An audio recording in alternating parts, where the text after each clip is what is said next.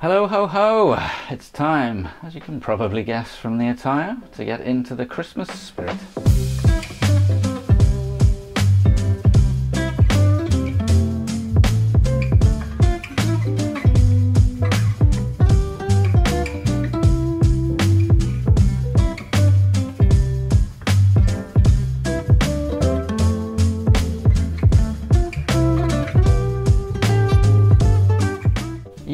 In this video we're going to do a fun little project, uh, obviously Christmas related.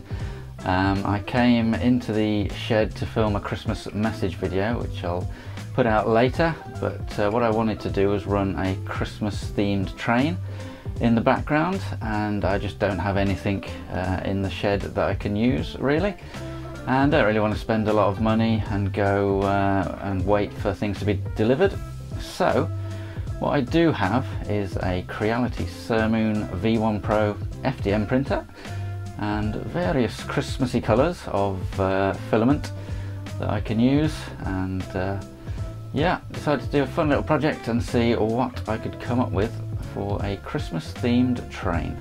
So here is the plan. I think we're going to take some open plank wagons from the model railway and we're going to find some appropriate uh, Christmas themed models and do some little wagon loads to put in there and see how we go.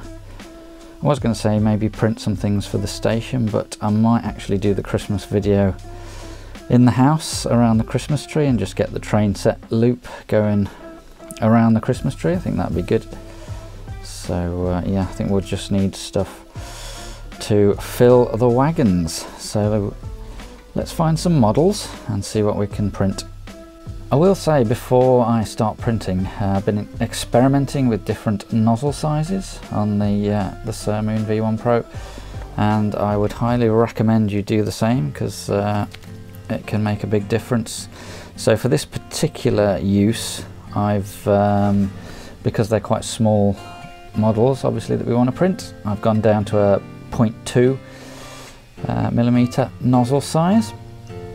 You can also, the standard is 0.4, um, you can actually go up to a 0.6 and get uh, faster printing, so it's definitely worth experimenting with. But as I say, for this one, we're sticking with 0.2. Very simple to change over. Um, obviously you can see the sides of the nozzle there. You just uh, undo, unscrew the one that's in there and just screw a new one back in. Really simple to do. The results of a very quick search on Creality Cloud and the usual sites for getting model files produced a lot of results of Christmas related um, Christmas related models. So some of them are here. I'll keep some as a surprise for later, but we've got uh, present and the sort of Christmas tree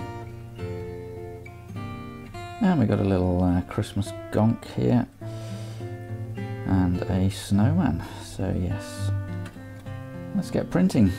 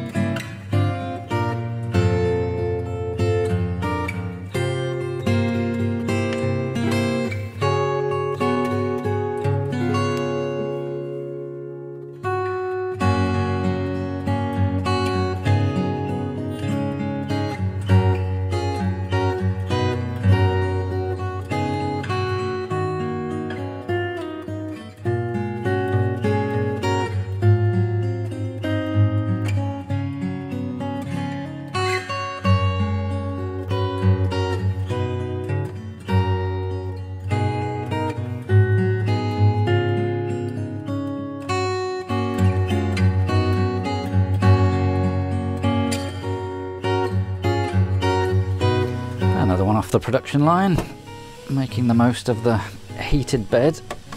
It is absolutely, well, below freezing outside, so it's uh, it's a good job we've got a heated bed on the printer.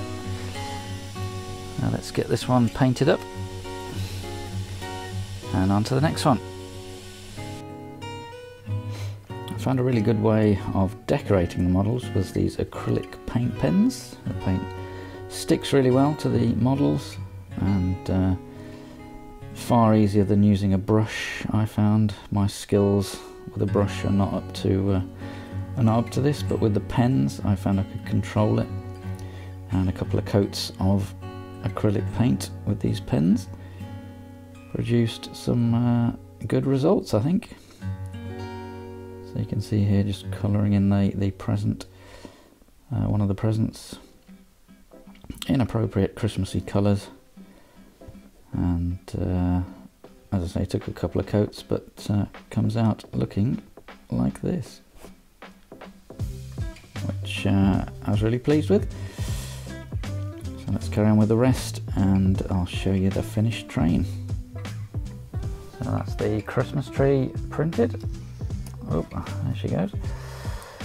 That's the last one off the production line and loaded up on the wagon of this very Christmassy train. So let's hook it all up and let you see. Okay, I think we're done. Prepare yourselves for the Christmassiest train, model train you've ever seen. Although I think they uh, they should do this in real life at the Severn Valley Railway. Go.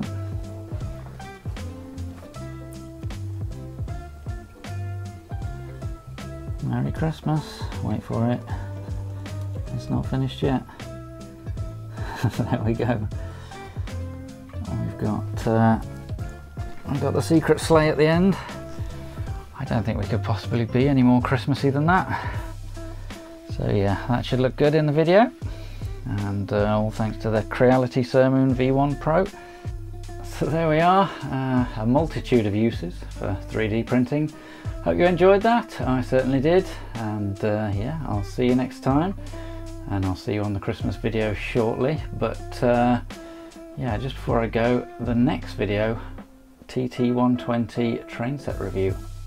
Look out for that and see you soon.